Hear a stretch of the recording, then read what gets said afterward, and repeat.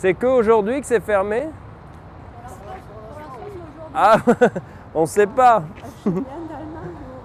C'est de- Juste pour voir cette Mais je- c'est dommage, moi je suis l'architecte de, de ça. Mais je, même moi, je n'ai pas pu aller au Nymphéa aujourd'hui. C'est fermé. Mais vous êtes venu exprès pour, euh, Oui, pour l'orangerie? Mais alors il faut choisir un autre musée.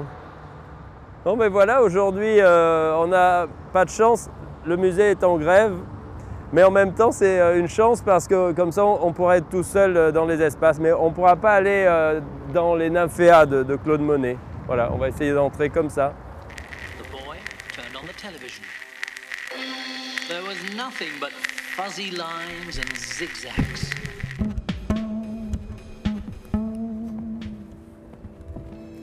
Hop.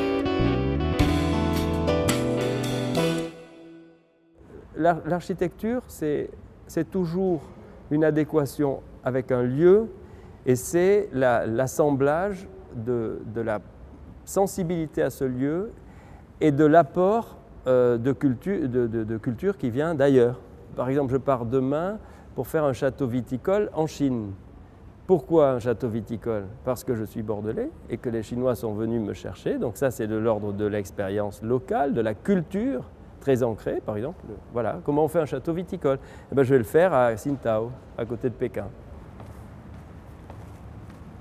Ce après quoi euh, je cours dans l'ensemble du, du travail que je fais, c'est une sorte de, de scénographie aussi, qui va de l'échelle urbaine à l'échelle de l'objet. On fait toujours le même projet. Un architecte fait toujours le même projet. Il court après le même projet. Et bizarrement, il produit toujours des bâtiments différents.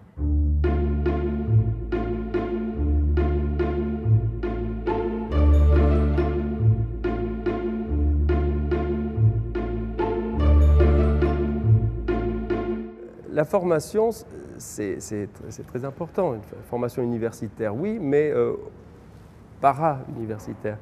Moi, je suis architecte, mais pendant toutes euh, mes études, euh, j'étais euh, acteur de théâtre et, d'autre part scénographe d'une troupe qui tournait, qui allait pendant une dizaine d'années en Allemagne. On était un peu spécialisé dans le romantisme allemand, Hölderlin, Kleist, etc.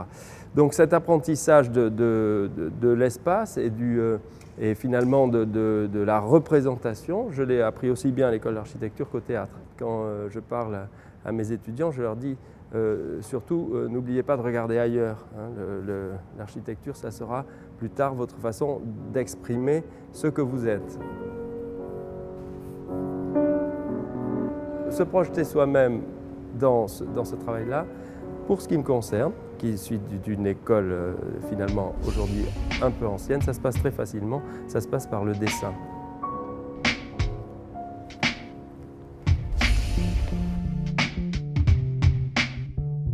Sur le chantier de la vie, j'ai un certain nombre de dons.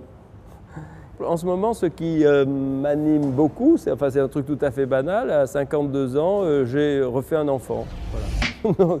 Donc, ça, c'est c'est un- une idée que, il y a des- effectivement, il y a des projets dans la vie plus importants que l'architecture. L'architecture occupe beaucoup, et puis, et puis euh, euh, la vie euh, s'établit dans les interstices. Alors quand un interstice, euh, c'est un enfant, c'est important.